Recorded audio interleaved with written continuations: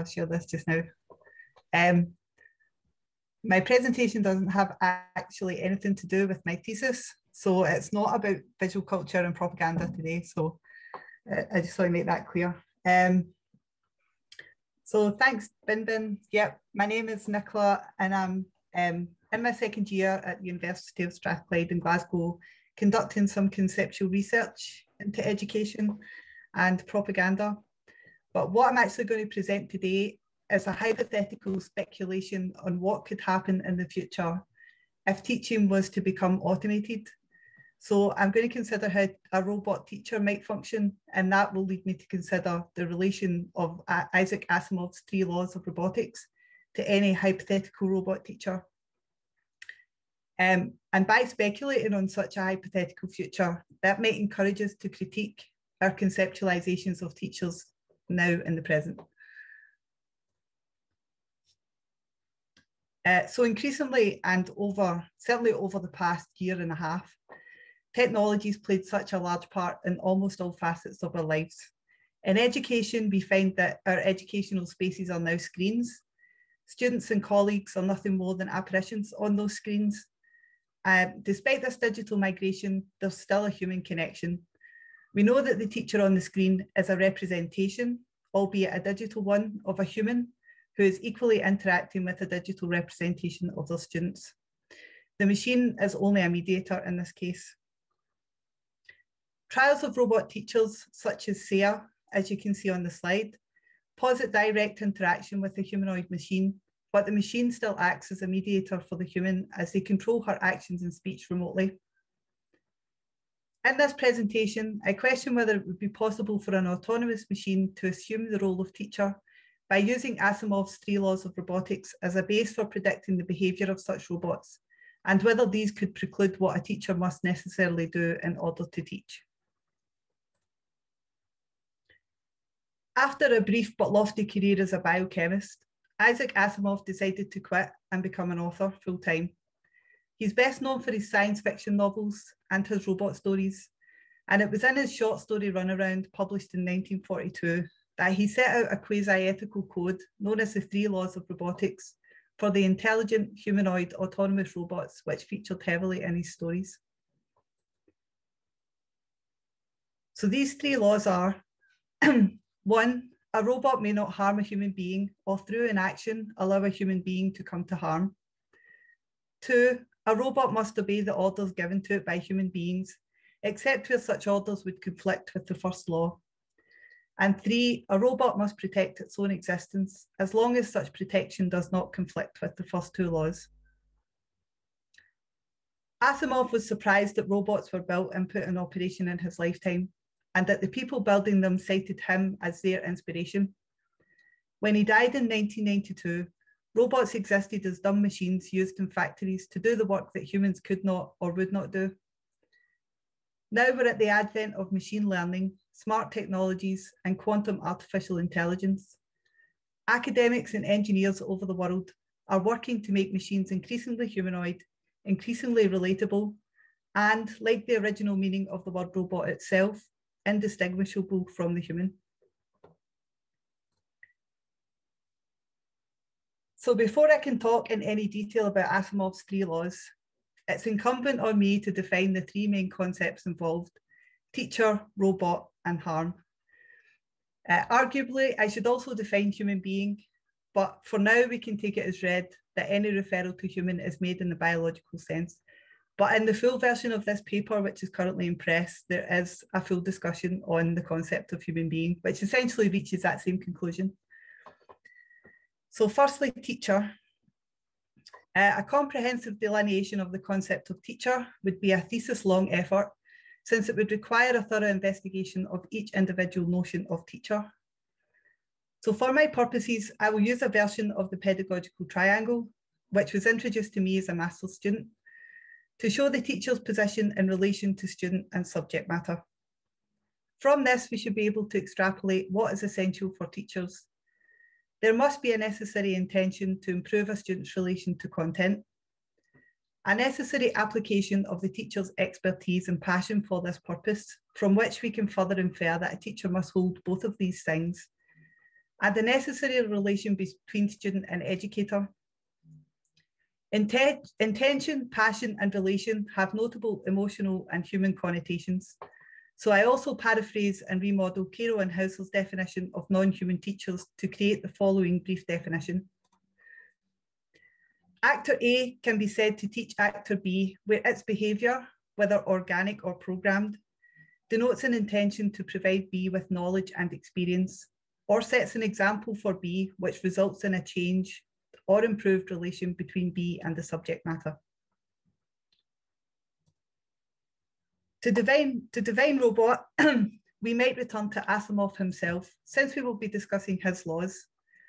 He's very clear that a robot is an industrial product built by matter-of-fact engineers for a specific purpose. He writes about his autonomous robots as machines capable of judgment with no human input after the hardwiring of the three laws. Machine ethicist Susan Anderson is a little more explicit when she describes an autonomous machine as one preloaded with ideal ethical principles or some examples of ethical dilemmas with what she calls correct answers. Um, but that is somewhat ambiguous since it would only be based on a universally accepted correctness. It must also have a learning procedure from which it can abstract these so-called ideal ethical principles so that these can be used to guide its own actions and so briefly put, an autonomous robot is a machine built for a specific purpose, which is guided by ethical principles and judgments, some coded and some learned. The concept of harm is similarly multifaceted, and given how it is applied in the three laws to both humans and robots, we need a definition which, which suits both. An initial look to the legal definition which is ill treatment resulting in physical or psychological damage to a person or physical damage to property, proves that it could only be sufficient for both human and machine if the machine were to be considered the property of another person. John Stuart Mill's definition, which states that a harmful action must violate or risk violation of the important interests of others in which they have a right, can only work in cases where a robot has been inferred any legal rights. In this case, an assignment of the semantic definition rather than a systematic one works better for both human and machine. And so I paraphrase the definition from the Collins English Dictionary. Harm is the result of hurting someone, physically or psychologically, or damaging something insofar as it can no longer fulfill its purpose. Now I'll illustrate some scenarios which play out the three laws and speculate on the robot teacher's reaction and how a human may react in each. In this first scenario, the robot teacher is faced with a student who is anxious about a task she's been given. The student is, dis is displaying a number of the common physical symptoms of anxiety, sweaty palms, shallow breathing and fast heart rate, and gastric distress. These symptoms are also applicable to numerous physical illnesses and conditions which should receive medical attention.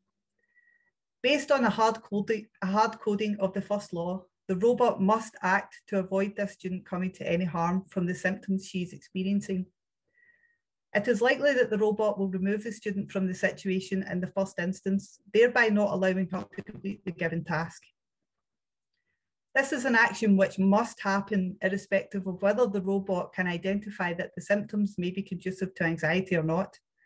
And it is indicative of a limitation that the robot has over the human teacher, the ability to weigh risk and sacrifice, as well as a lack of future mindedness.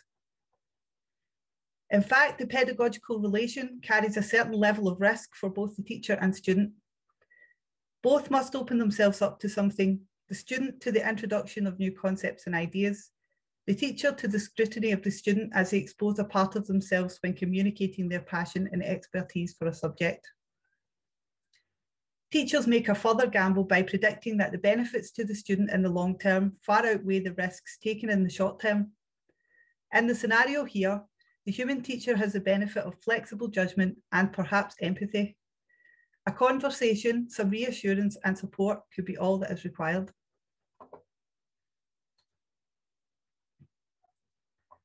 In the second scenario, the robot teacher asks a loud and disruptive student to quieten down so that the rest of the class can work peacefully. The student, in all of his youthful belligerence, declines and tells the teacher to go away. The robot, seeing no conflict with the first law in that its going away would not cause harm to the student, dutifully retreats to the base destination as coded into its circuitry and can no longer support or influence any of the students for whom it was responsible. This scenario presents us with the question of authority. And this is a concept which runs beyond the idea of teacher as disciplinarian. This law suggests that, except in cases where it is instructed to cause or allow harm to come to a human being, the robot has no authority at all. Once again, we find a real shortfall between the notion of the robot teacher and the human teacher. Without authority, what reason would a student have to listen to or take instruction from anyone? Without authority, there cannot exist any trust that the teacher has expertise above that of the student, something which must necessarily be present for improving the student's relation to content. Of course, authority is not inferred onto human teachers automatically, and it is my view that in terms of expertise as a means of gaining authority, it is entirely possible for both humans and machines to hold authority. What the second law precludes is the ability of the robot to exercise it in any meaningful way as the students potentially become aware of the power that they hold over the machine. In this final scenario, which is itself inspired by a scene in Asimov's short story Bicentennial Man, the robot is ordered by the same belligerent student from scenario two to dismantle itself. Given that the second law takes precedence over the third, the robot must obey the human command. A further dilemma ensues if the robot calculates that by dismantling itself, it cannot act to prevent harm to the students in the class. The hierarchical nature of the laws means that now the first law should always take precedence, but an infinite loop is easily created if the student repeats his command ad nauseum, and each of the laws finds itself in conflict with the other two. Any computer programmers among us will know that an infinite loop results in a crash, which would render the internal programming and thus the machine itself dysfunctional. This scenario exposes the shortcomings of the laws in general as rigid, dogmatic principles governing behaviour. What flexibility could such a system have for dealing with the unpredictable and fluid nature of human interaction? Sure, there are humans, and by extension, human teachers, who also live by what can be perceived a rigid set of rules which seem to lay at their very foundations. I can understand how some people might draw a parallel here, but what is inferred by education itself is there is a capacity for change, and this is at the heart of each relation in the pedagogical triangle.